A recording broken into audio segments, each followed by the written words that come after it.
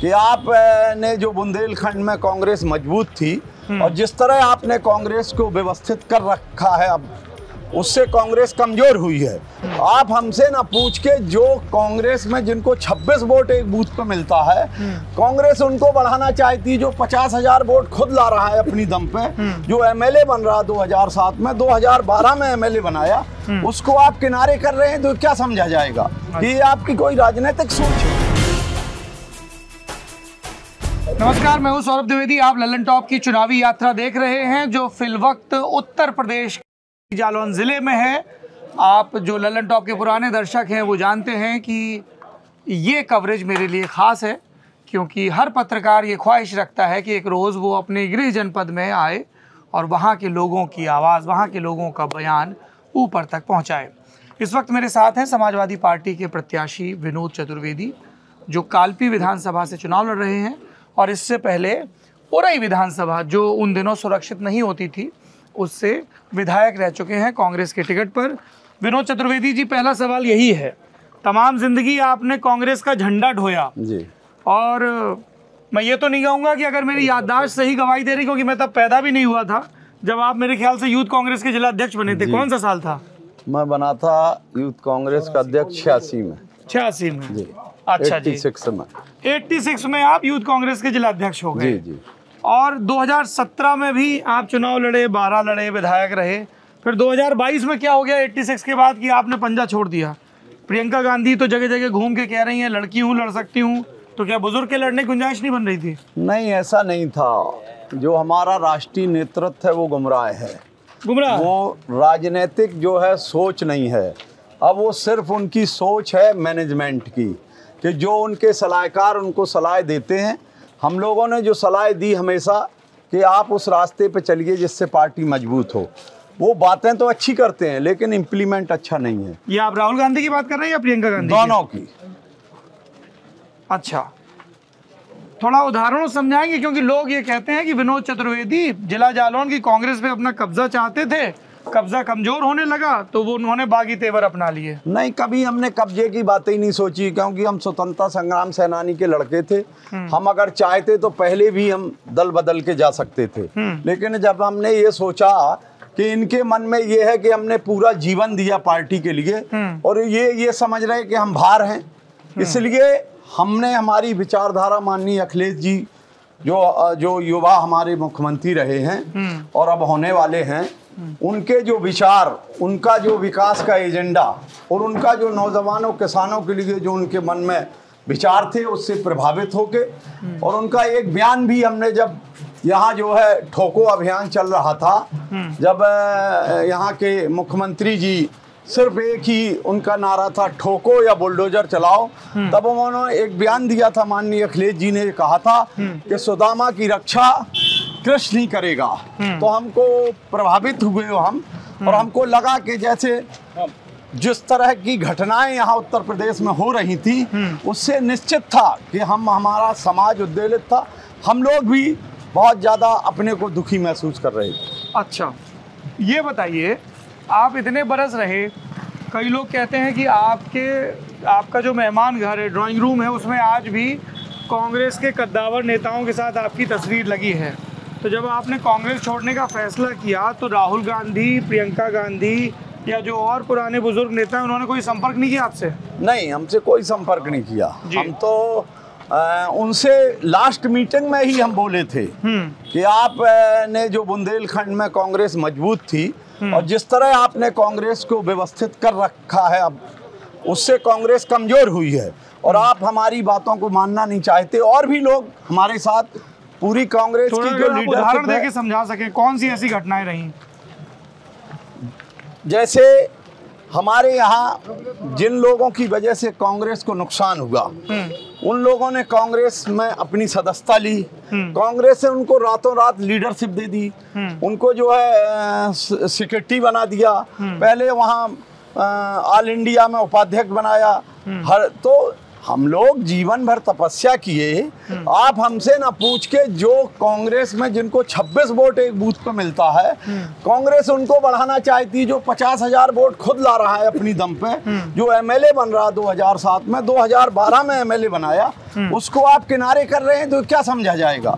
कि ये आपकी कोई राजनीतिक सोच है।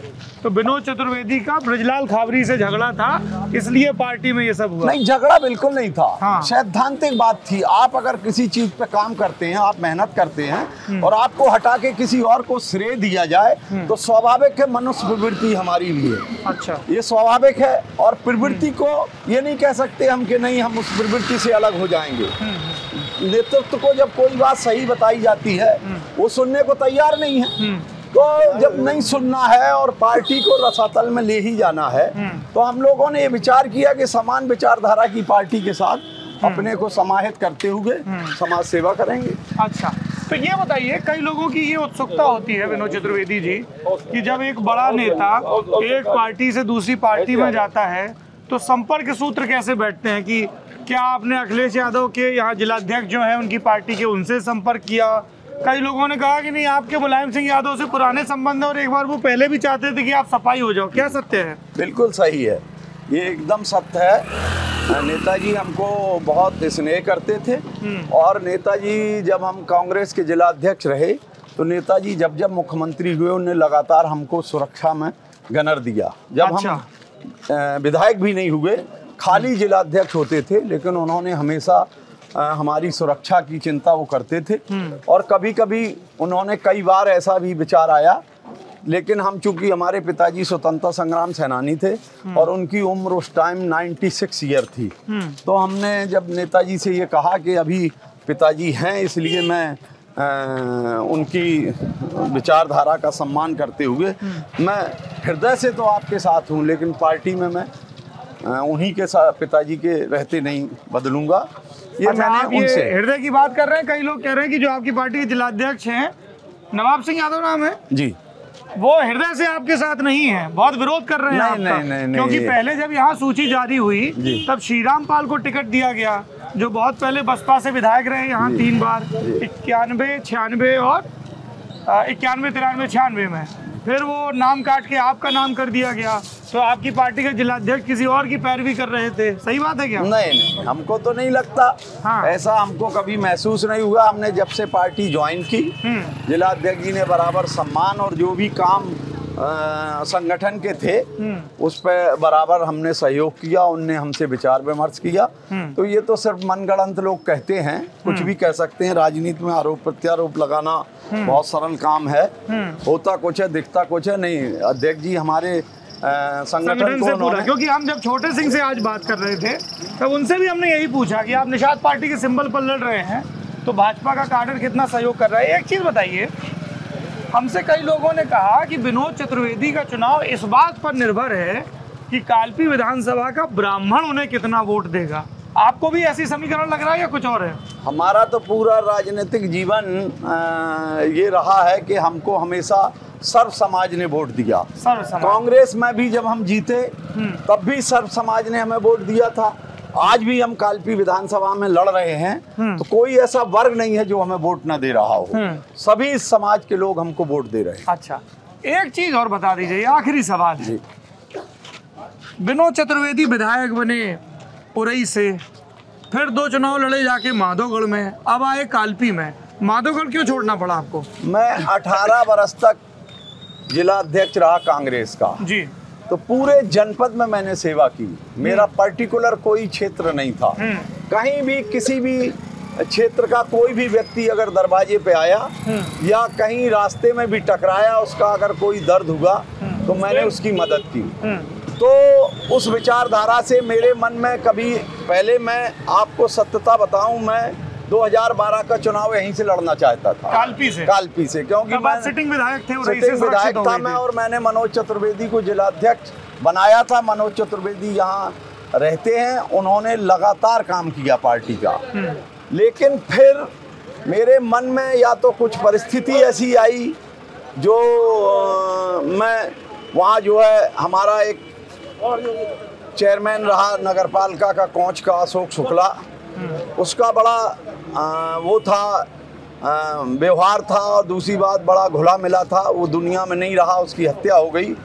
तो उनके परिवार ने और बहुत से मेरे कांग्रेस के साथियों ने कहा कि नहीं, आप यहाँ से लड़ा, चुनाव लड़ाएँ माधोगढ़ से। उन परिस्थितियों में मैं माधोगढ़ से चुनाव लड़ा। अच्छा। कहा जाता है कि कांग्रेस के एक बड़े कद्दावर नेता हुए हैं, जनार्दन द्विवेदी, वो आपको बड़ा स्नेह करते थे।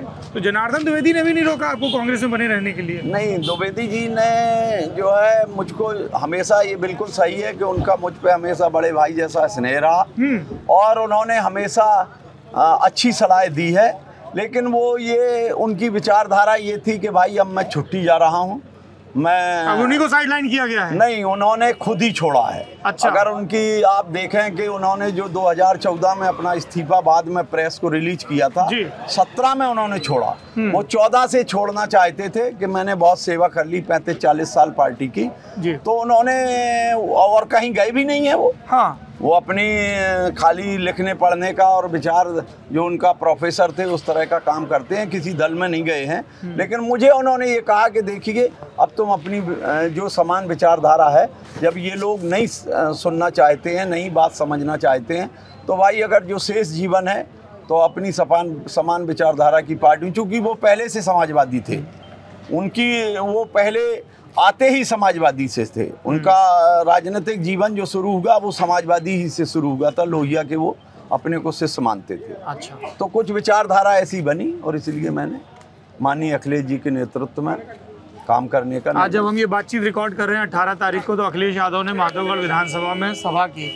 कई लोगों ने कहा कि सबसे ज़्यादा फाइट में विनोद चतुर्वेदी हैं लेकिन सभा मिली माधवगढ़ में कालपी में नहीं मिली। नहीं ये तो राष्ट्रीय नेतृत्व को सब पता है। हाँ। और उनका संदेश ही भाई हमारे यहाँ हो गए थे वो। इसके वो पहले हाँ वो यात्रा पे आए थे तो कालपी हो गए थे। हाँ। और वहाँ गए नहीं थे वो। इसलिए उन्होंने सोचा कि कालपी हम हो ही आए हैं और माधोगढ़ से पूरे तीनों विधानसभाओं को संदेश देंगे। हम्म। ऐसा कुछ नहीं इसी विचारधारा से उन्होंने माधोगढ़ में की। मुकाबला किससे है आपका? बसपा के चुन्ना पाल से निषाद पार्टी के छोटे सिंह से मुकाबला है ही नहीं। की उमाकांति सिंह से? हमारा मुकाबला ही नहीं है। अच्छा जी। हम तो बिल्कुल विनर है। हमारा मुकाबला ही नहीं है। अब ये तो जब वोट खोलेंगे तब पता लगेगा लोगों को। चलिए आप सुन रहे थे समाजवादी पार्टी के प्रत्याशी विनोद चतुर्वेदी को। कालपी एक दिलचस्प विधानसभा है कोई कह रहा है चतुष्कोणी मुकाबला है। बड़ा जोश है गुरु दो मिनट रुक जाओ हैं? हमें तो अपना काम पूरा कर लेने दो। कई लोग कह रहे हैं कि यहाँ चतुष्कोणी मुकाबला है कई लोग कह रहे हैं त्रिकोणी मुकाबला है। दस मार्च को डब्बा खुलेगा जनता का जनादेश मिलेगा जनादेश की तमाम व्याख्याएँ आप तक पहुंचाता रहेगा। लल्लन टॉप शुक्रिया।